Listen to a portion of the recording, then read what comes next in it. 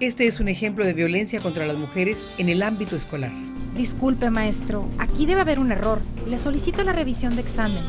Mira, no necesitamos revisar nada. De ti depende si quieres sacar solo un 6 o un 10.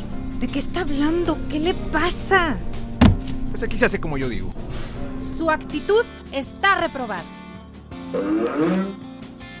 En el ámbito escolar, nuestra tarea es la paz.